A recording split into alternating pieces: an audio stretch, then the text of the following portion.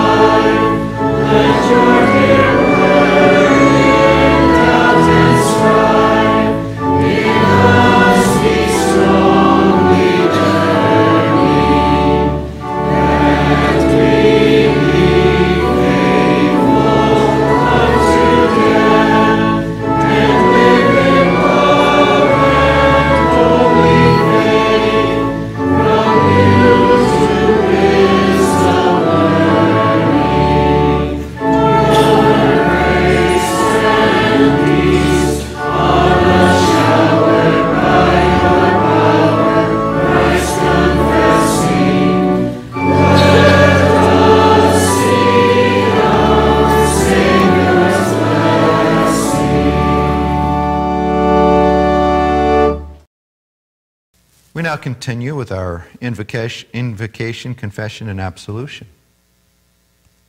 In the name of the Father, and of the Son, and of the Holy Spirit. Amen.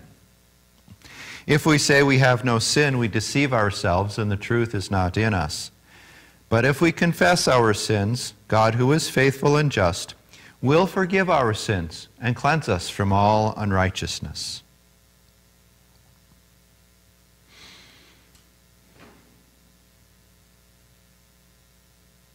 Let us then confess our sins to God, our Father. Most merciful God, we confess that we are by nature sinful and unclean. We have sinned against you in thought, word, and deed, by what we have done and by what we have left undone. We have not loved you with our whole heart. We have not loved our neighbors as ourselves. We justly deserve your present and eternal punishment. For the sake of your Son, Jesus Christ, have mercy on us. Forgive us, renew us, and lead us, so that we may delight in your will and walk in your ways to the glory of your holy name. Amen.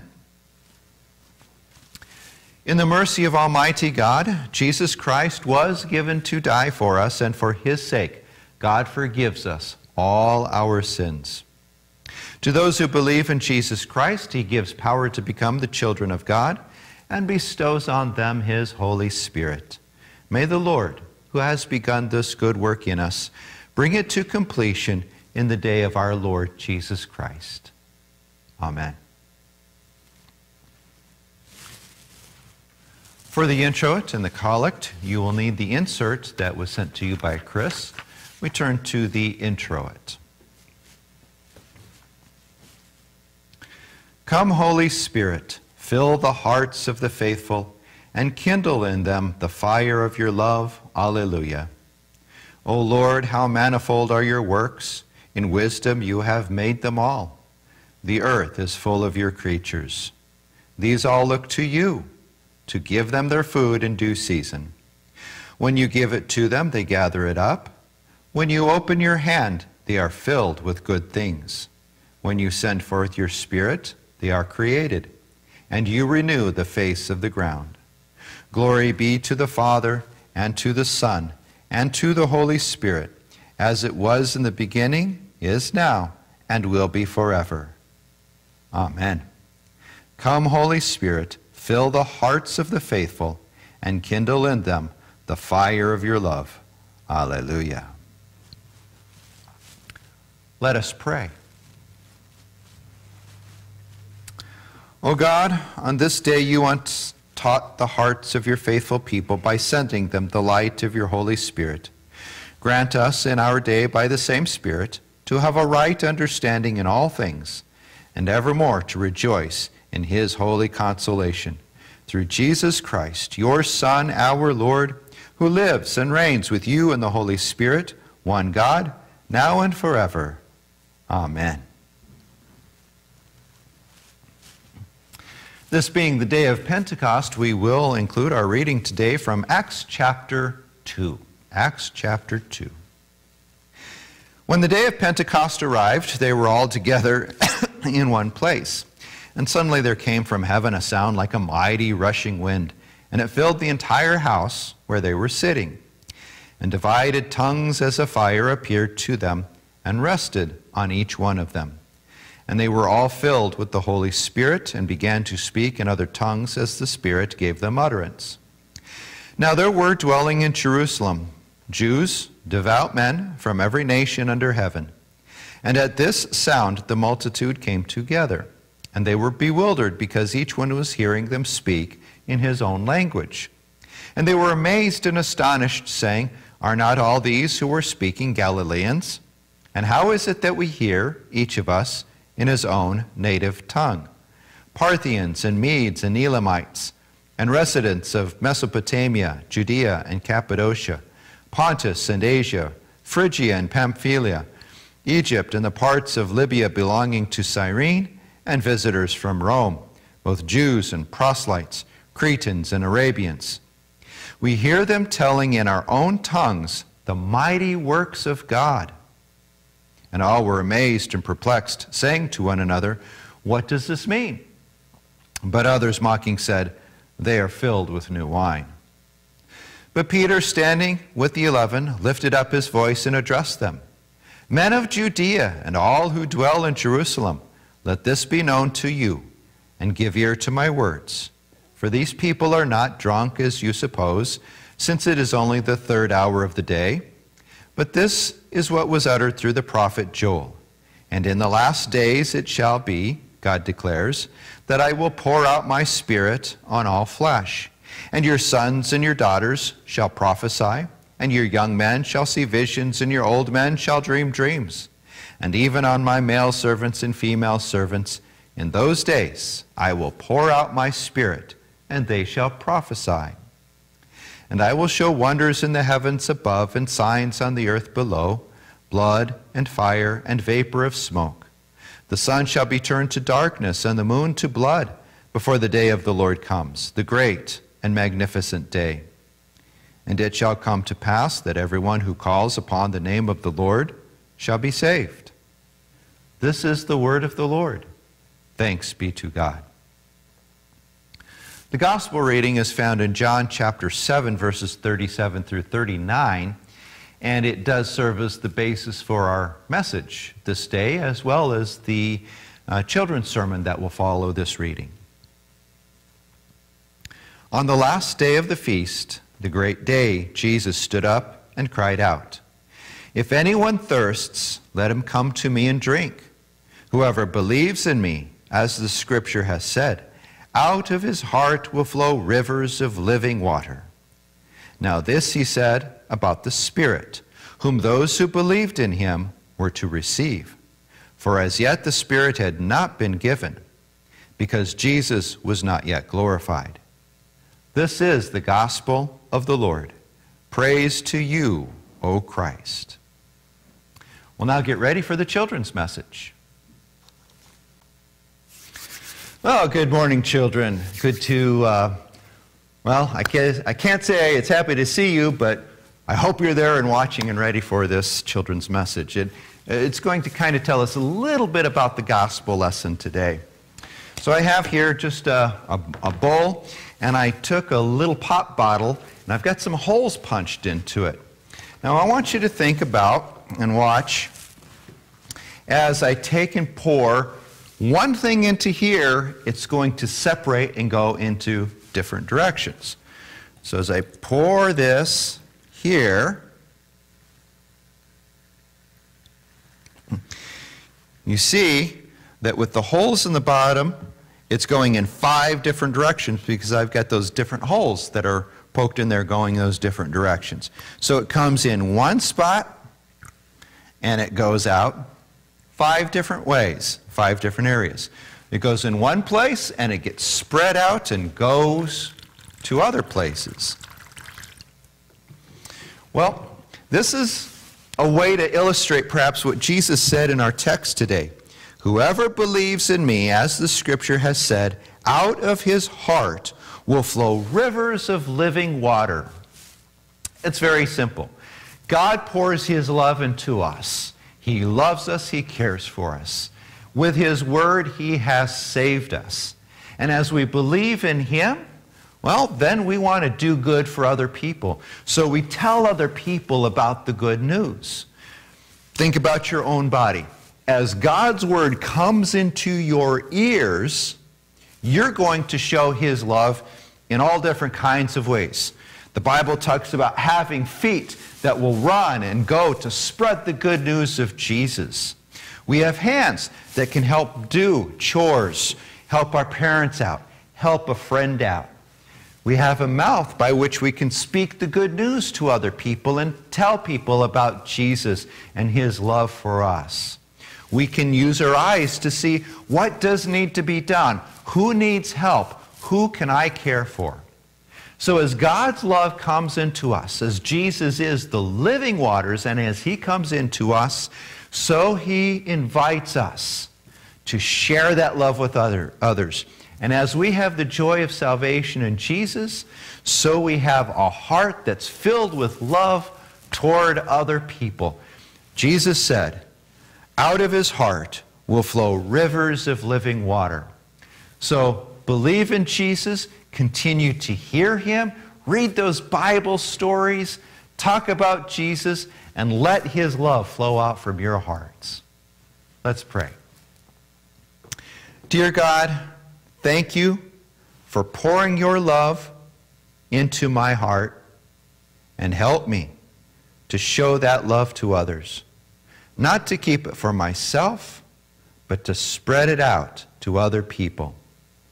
Dear God, thank you for Jesus and for the love you have given to me first. In Jesus' name we pray. Amen. We'll get ready to sing our next hymn, and our hymn is Holy Spirit, Light Divine.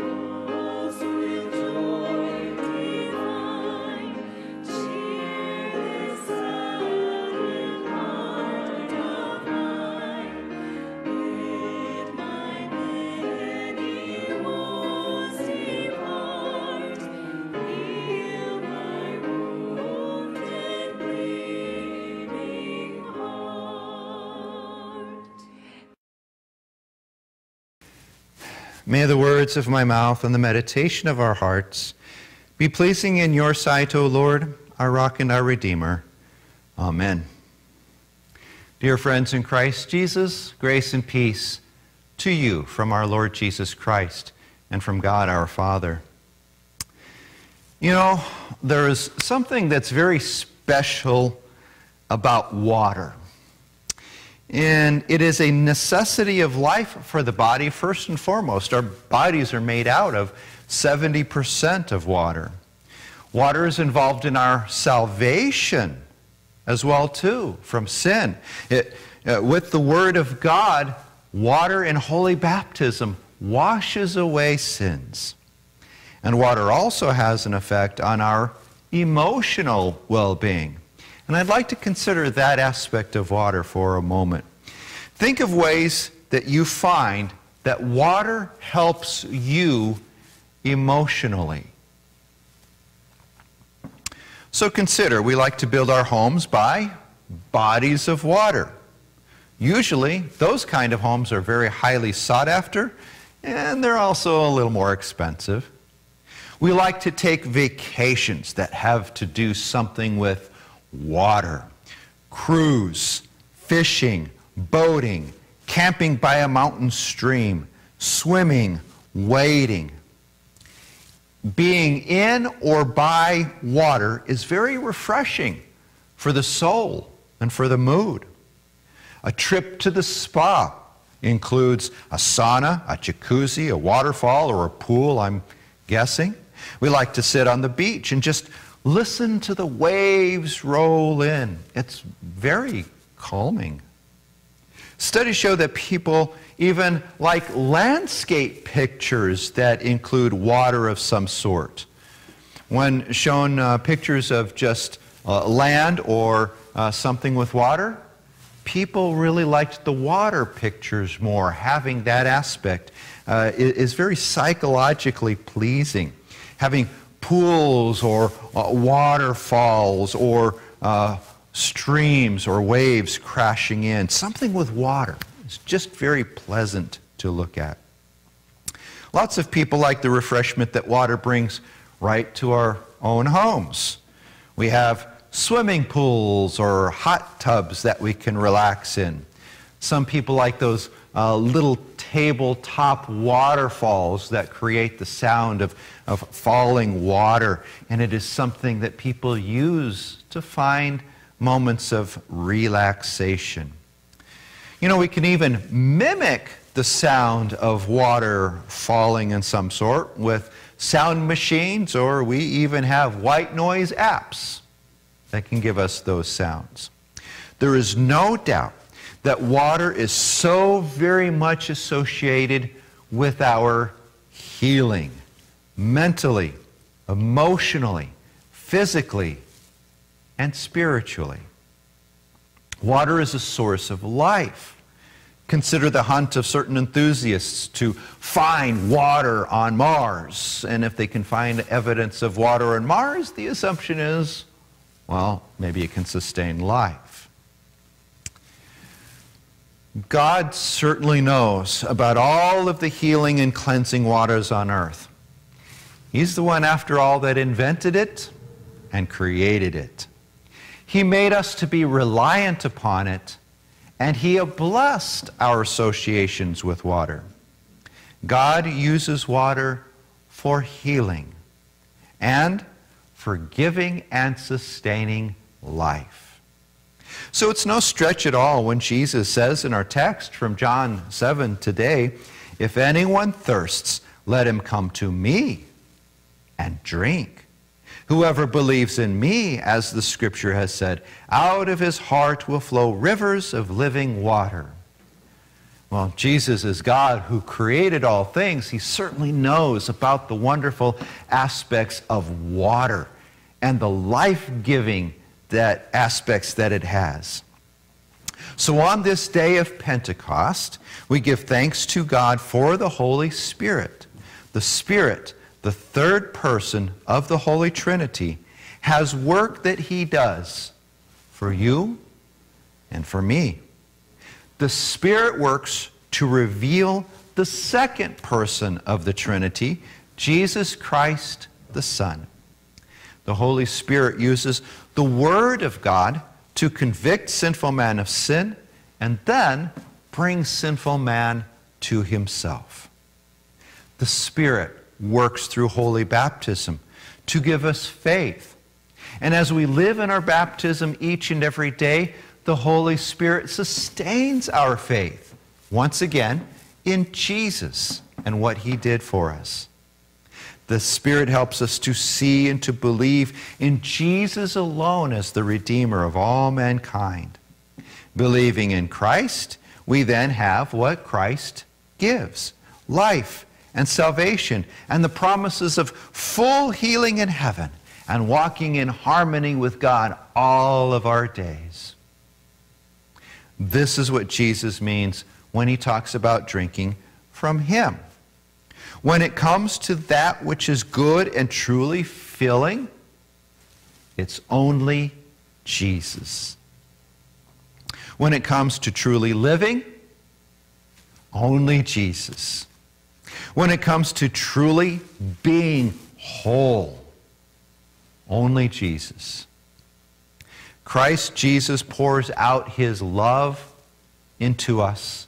He pours himself through his word into us. He does this with his words and with his promises in Holy Scripture.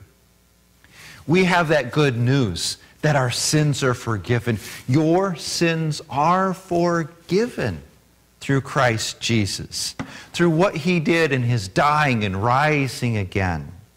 You are brought into harmony with God through Christ.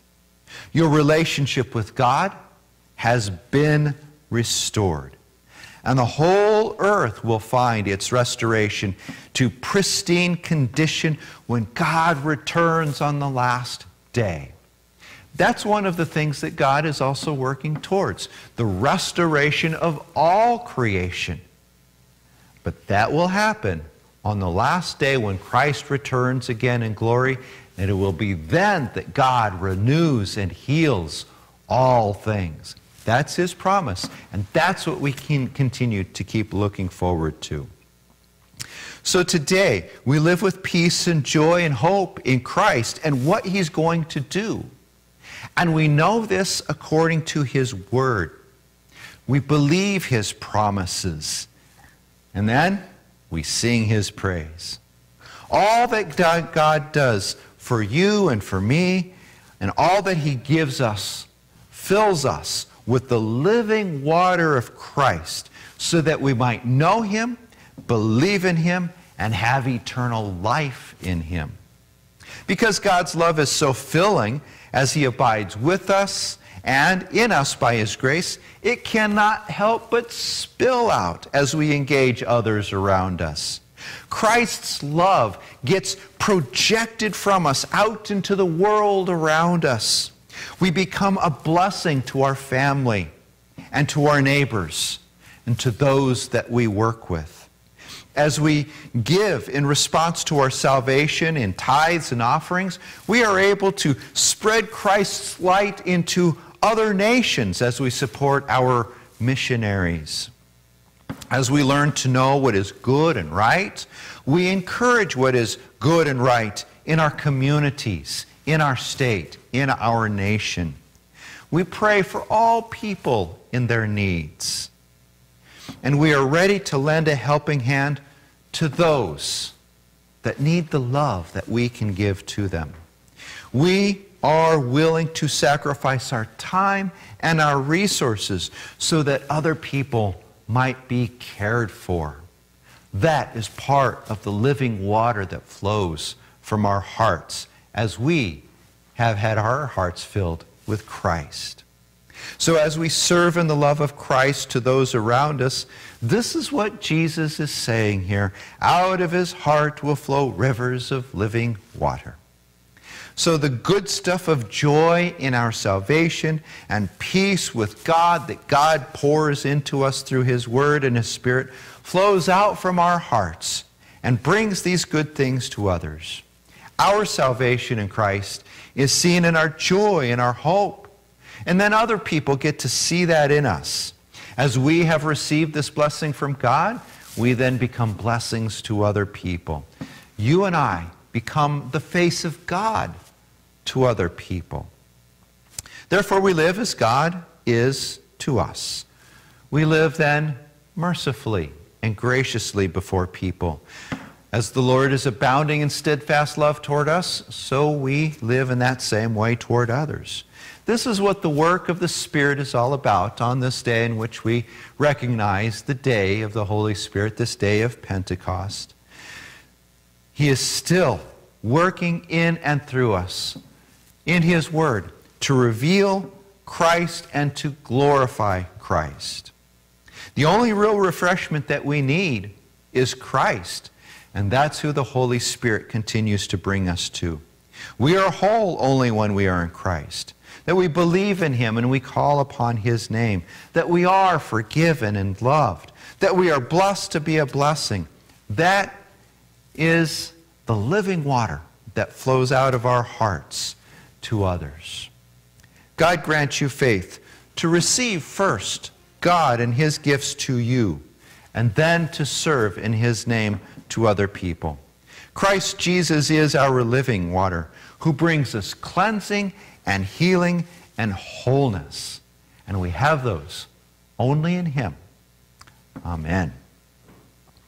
Now, the peace of God, which passes all understanding, keep our hearts and our minds in Christ Jesus.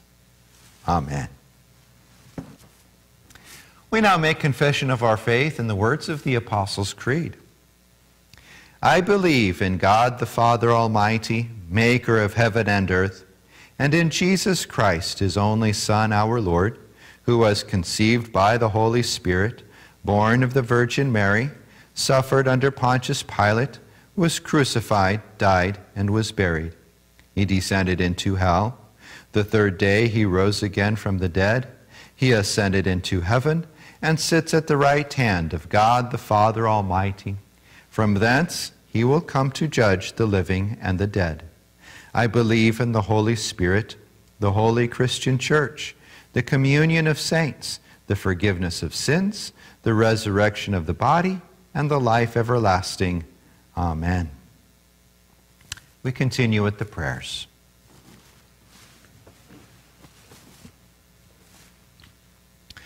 Almighty God, you have blessed us in love with the Savior, to whom the nations cry, and in whom is forgiveness of sins, life, and salvation.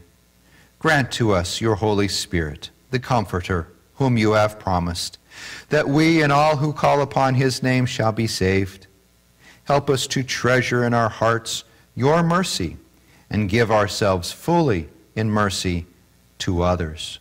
Lord, in your mercy, hear our prayer. Almighty God, you have promised the thirsty will drink from the em- will drink, and from the empty will flow forth rivers of living water. Help us to show forth in holy lives the fruits of the Spirit, and to live with love toward our neighbor. Give us a servant's heart that doesn't seek our own way, but walks on the path of eternal life. Lord, in your mercy, hear our prayer. Gracious Heavenly Father, we thank you for the blessings of married life, and we rejoice with Ken and Diane Kale as they observe their 50th wedding anniversary on June 5th, this coming Friday. We thank you for the blessings that you have given to them, and we pray that you would bless them in the years to come so that they may remain faithful to you and devoted to each other. By your presence, gladden each day that you graciously grant them. Lord, in your mercy, hear our prayer. Almighty God, have mercy and spare us. Put an end to the pandemic and restore the communities of the world to their common life. Lord, in your mercy, hear our prayer. Almighty God, you have given our nation the gift and heritage of freedom. It came at the cost of many lives on battlefields far and near. Receive our thanks for the sacrifice of men and women who served in the armed forces. And give us the courage to persevere and preserve the liberty in our own time and to use it honorably. Lord, in your mercy, hear our prayer. Almighty God, you carry the burdens of our lives in your hands. Deliver from illness and suffering all who cry to you for release. Hear us on behalf of the sick and the afflicted. Continue to be with Marge, who continues in hospice. Grant her your presence and grace. We pray, dear God, that you would be with all who are ill with the COVID 19 virus. We pray that you comfort them, grant them good medical care, good rest, and healing from however it is they suffer from this virus. We pray, dear God, that you are with all of those who are shut in and homebound, especially the elderly and the lonely. Grant them your presence and your peace.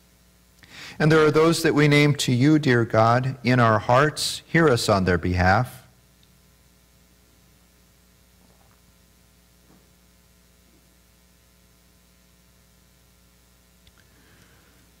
O precious Lord, answer your people and deliver them from their infirmities and their grief by your grace. Lord, in your mercy, hear our prayer. Almighty God, hear your people for the sake of him who loved us even unto death, and who lives to call himself all who will be saved. You know what we need, and those things that we should ask in your name. Grant them to us for the sake of our crucified, risen, and ascended Lord, who lives and reigns with you in the Holy Spirit, one God, now and forever. Amen. We pray the prayer that our Lord Jesus gave us Our Father, who art in heaven, hallowed be thy name. Thy kingdom come, thy will be done, on earth as it is in heaven. Give us this day our daily bread, and forgive us our trespasses as we forgive those who trespass against us. and lead us not into temptation, but deliver us from evil. For thine is the kingdom, and the power, and the glory, forever and ever. Amen. The Lord bless you and keep you. The Lord make his face shine upon you and be gracious unto you. The Lord lift up his countenance upon you and give you peace. Amen. We now sing our closing hymn You are the way, through you alone.